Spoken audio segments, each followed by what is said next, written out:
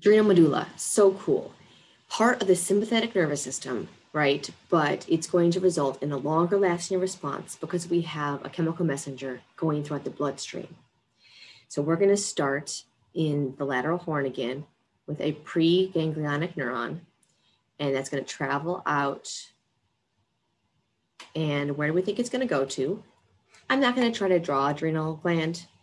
I'm going to have one pop up. Where is it? On top of the kidneys, little endocrine glands on top of the kidneys.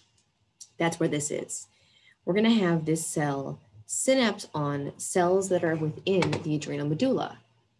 I'm to get a different color for our adrenal medulla cells. It's kind of cool. It's thought that this adrenal medulla, medulla means the inside.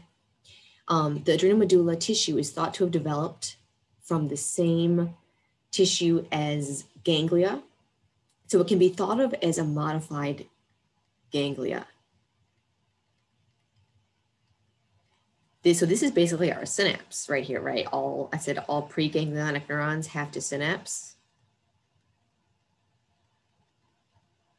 If that helps you to think of it that way, it's kind of true. So this is our cell inside the adrenal medulla. This cell is it going to have, am I going to draw an axon for it? No, it's not nervous tissue. It is a gland. So it is going to release by exocytosis it's going to release into the bloodstream what? Norepinephrine and epinephrine. These two chemical messengers you already know something about, right? So if we have this blood vessel, let's say, go out into the body, we now have norepinephrine and epinephrine circulating throughout the entire body, where it's going to bind to the heart, the intestines, smooth muscles, uh, pupil muscles, um, everywhere, arrector pili of your, um, make your hair stand on end. What determines whether it's going to affect a certain organ or not? This is a really good, important question, actually. What determines whether this little molecule can have an effect on cell X, whether it has a receptor, right?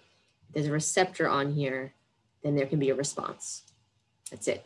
This results in a longer lasting response to a stressor because you have hormones circulating throughout the body. It takes a little bit longer to come about. Um, but and that's why you have that, the, that direct innervation as well. But this can be can supplement then. It's a coordinated response to a stressor. You've also got some other cortisol and some other things that are even longer lasting. The stress response is huge and is designed to allow you to respond acutely and then continue to um, mobilize glucose to replace where it was used, right? Your skeletal muscles use glucose. You then need to be continue to remove glycogen from the liver to replace that so it's kind of for immediate response and then a little bit of delayed response as well.